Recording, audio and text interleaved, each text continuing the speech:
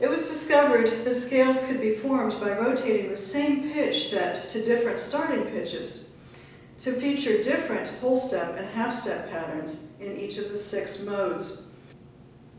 It was discovered that scales could be formed by rotating the same pitch to different starting points to feature different whole steps and half step patterns and generate each of the six modes. These scales were said to be related because they contained the same pitches, just as people are said to be related that share DNA. Here are the six modes that are related, all using white notes on the piano. Ionian.